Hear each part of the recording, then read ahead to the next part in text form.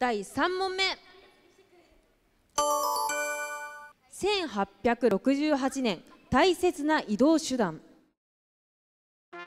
知多半島と三河地区の間にある絹浦湾。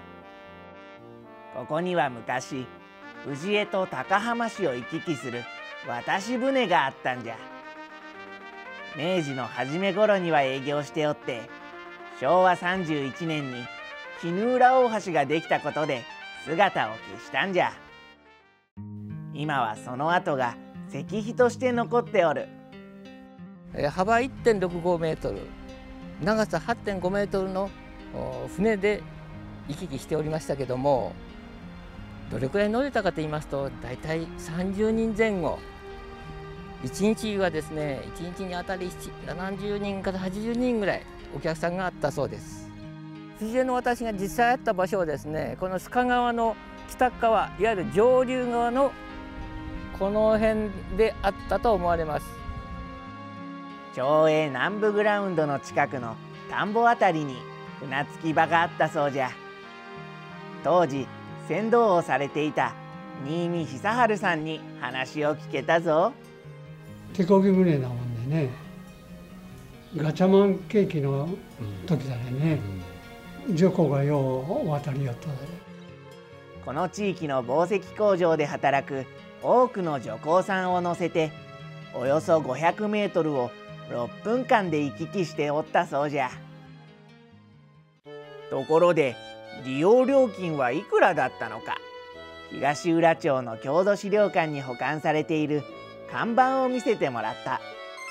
これは大正11年のものなんじゃが。1人2銭ほう人力車や自転車も乗れるんじゃな。そしてここには20銭と書いておる。では問題じゃ。料金が最も高い20銭だったのは自動車である。さあ丸か×かで答えるんじゃ。20銭で大体500円ぐらい？まあいろんな説あるんですけどとある説によると20銭というと500円。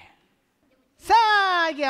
それでは分かれてください。自動車である丸と申した丸の方×の方は×はいで線のところまず下がってくださいね。はいちょっと下がってください。20銭で運んだのは一体なーにそれでは正解じゃ。20銭。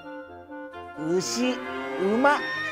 ということで正解は×じゃ。